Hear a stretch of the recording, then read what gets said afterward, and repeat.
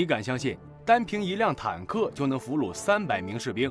但大兵要告诉你，这是可以的。而且这个画面出现在坦克首次实战的索姆河战役中。本期影片，咱们就来聊聊坦克是如何成为陆战之王的。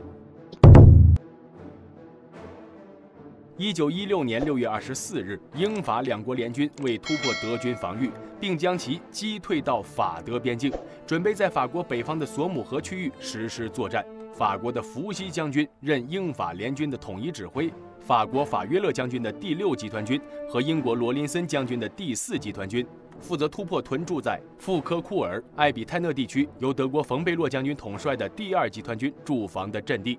这个集团军下辖有八个步兵师、六百七十二门火炮、三百门迫击炮和一百一十四架飞机。而且作为防守方，德军事先准备了三道防线，每道防线上都纵深遍布着坑道工事，前沿设置有多层铁丝网。这些工事铁丝网配合上机枪火力，无疑是英法联军面前的拦路虎。但英法联军也不是毫无准备。为了在这场战役中取胜，他们准备了共有三十二个步兵师和六个骑兵团，两千一百八十九门火炮，一千一百六十门迫击炮，约三百架飞机。一场大战一触即发。一九一六年六月二十四日，索姆河两岸雷鸣般的炮声打破了清晨的宁静。英法军隐蔽的炮兵群对德军阵地开展了大规模的炮击，空前猛烈的炮火使德军阵地顿时陷入一片硝烟和火海之中，不时有德军的掩体和障碍物飞上天空。德军士兵早已钻入深深的地下工事，安全地躲避着倾泻而下的炮弹。炮击持续了七天，联军认为长时间的炮火覆盖。应该效果显著。六月三十日深夜，炮击到了最后阶段，德军第一道防线已被夷为平地。准备进攻的英法联军已经趴在了堑壕边上，只等着冲锋的哨声。七月一日清晨，初升的太阳照耀着硝烟渐渐散去的战场。炮击停止后，德军阵地上死一般的寂静，这是大战前的平静。七时三十分，英军阵地上突然响起了刺耳的军哨声。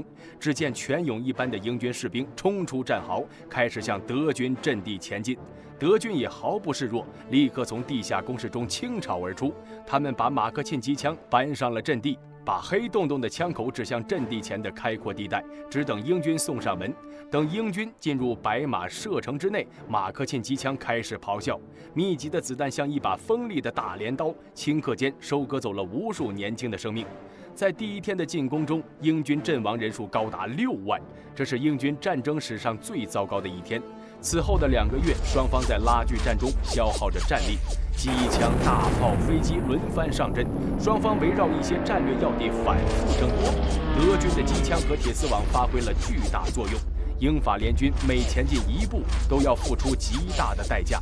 直到一批钢铁巨兽的到来，英军才扳回一城。九月十五日清晨，在索姆河畔的费莱尔库尔杰莱提战场上，大雾笼罩，硝烟弥漫。德军士兵静静地躲在堑壕里，等待着英军发动新的进攻。英国的黑格将军收回了望远镜，向身边的传令兵发布的新命令：秘密武器该登场了。七时三十分左右，远方地平线上出现了十几个运动的黑点。他们渐渐接近，德军士兵依稀听到了一种奇怪的轰鸣声，其间还隐约夹杂着钢铁的撞击声。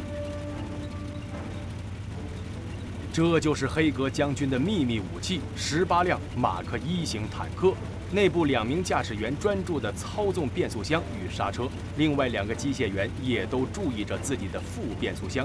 车长莫迪尔探查完前方的地形，大声地喊着命令。烟轨使劲儿向左转，右侧的机械员烟轨加快了手上的动作，马克一型终于缓慢地转弯。此时，德军士兵们已经被这些钢铁怪物惊呆了，一时间连开枪都忘记了。莫迪尔再次大声喊出命令：“炮手，瞄准你右方的德军攻势！”见炮手毫无反应，莫迪尔再三大声重复了自己的命令，力求盖过周围巨大的噪音，直到被车内的发动机油烟呛出了眼泪。炮手阿姆斯壮才用力地转动五十七毫米火炮，堪堪对准了目标。装填手见势，弓着腰把炮弹填进了炮膛，开火。又是重复了三次以上，炮膛才冒出的火光。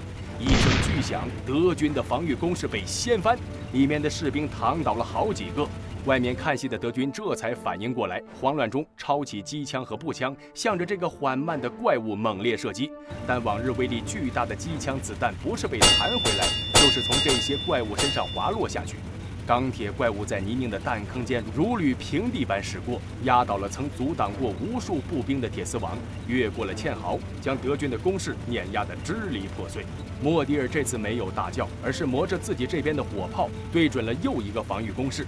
另一个装填手诺斯把炮弹快速装填完毕，然后大声喊道：“头，瞄准了再打，别跟上次一样打到自己人了。”莫迪尔不知道是没听见还是不想理他，再次对了对简单的十字线，确认目标。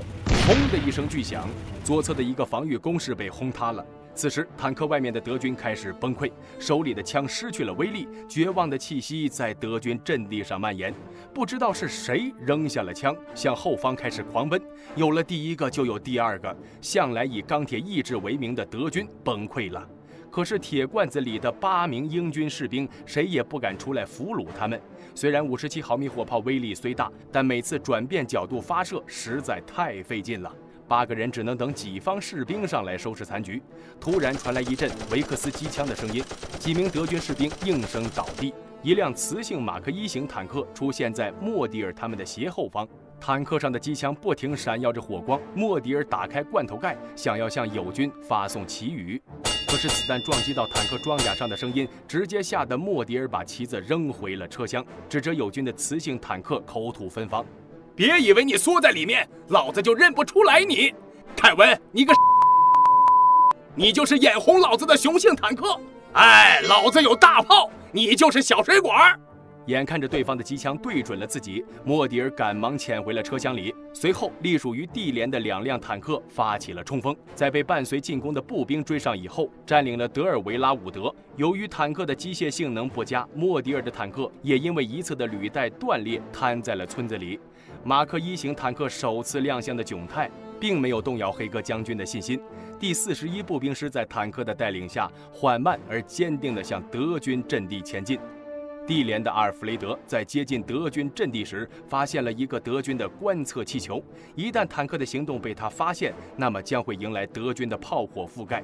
炮手波西博尔特努力地抬高炮口，连发数枪后打掉了这个重要目标。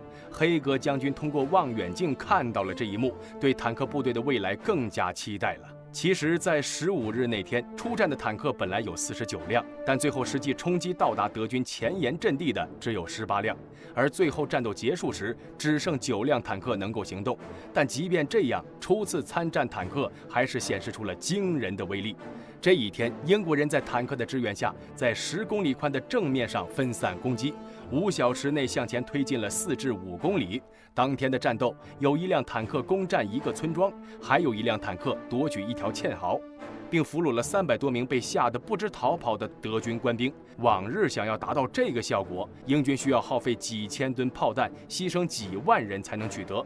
但在随后几天的战斗中，德军已经认识了坦克，无法再让德军士兵产生突然性下阻效果。再加上当时的坦克性能可靠性低、速度慢、数量少的问题，难以取得决定性胜利。反倒是德军开始学习如何对付这个庞然大物了。最终，索姆河战役以英法联军无法突破德军防线宣告失败。值得一提的是，二战的元凶希特勒也参加了这场战役。并且因为大腿根部受伤，被医生误切了一个睾丸。呃，好了，说回正题。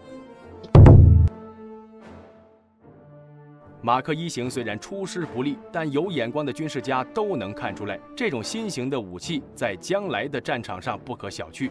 毕竟咱们现在看到的坦克，叫它一声祖宗并不过分。不过实际上，马克一型也不是第一辆坦克。一九一五年九月九日，威廉特里顿与沃尔特威尔逊造出了第一辆原型车——林肯一号机器。虽然林肯一号拥有无限轨道履带，能越过战场上复杂的障碍物，但它转弯非常困难。两人翻修后移除了炮塔，并命名为“小威力”或者说“小游民”。